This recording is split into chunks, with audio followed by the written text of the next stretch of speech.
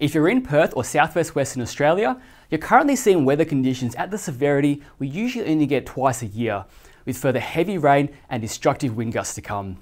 And having a look at the satellite, you can see that cold front which moved through the west on Sunday afternoon, with further heavy showers and thunderstorms in its wake. We've already seen wind gusts of more than 90 kilometres an hour at Jandakot, Rottnest and down towards the Cape, and overnight some rainfall totals in excess of 30 millimetres.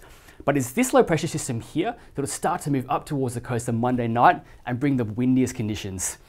A severe weather warning is current for destructive winds and heavy rainfall, and it covers a large area including Perth, Bunbury, Albany, and north to Geraldton.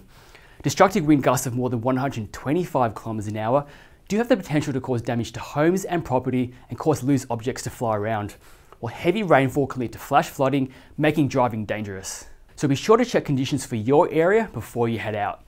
And have a look at the winds above the surface. It will give us an idea of the timing of the strongest winds and what we can expect. We can see that as the low pressure system moves up on Monday night, the strongest winds start to move over the southwest.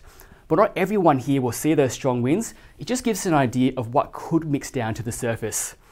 Those strong winds start to ease off on Tuesday in the west, but push towards the east through Tuesday. And having a look at how this may play out, we can see for the rest of Monday, heavy showers and storms moving onto the coast, with potential for moderate to heavy totals from Perth down towards the hills and towards Margaret River. And we will see showers pushing inland to Kalgoorlie. Into Tuesday, those showers will start to ease along the coast, but still some moderate force possible along the south coast and very windy conditions through the day. In terms of total forecast rainfall, we are expecting the biggest falls along the coastal strip, so around Perth, down towards the Darling Scarp and towards the Margaret River region, and we could see isolated falls in excess of 50 millimetres, gradually tapering off inland as we head into Tuesday. And with these sorts of cold fronts, we do expect to see dangerous wave conditions.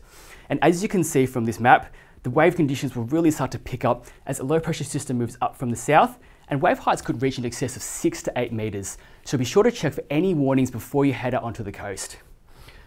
So if you're living in WA or travelling around, be sure to follow all advice from local emergency services, stay up to date with latest Bureau forecasts and warnings via the website or app, and please stay safe.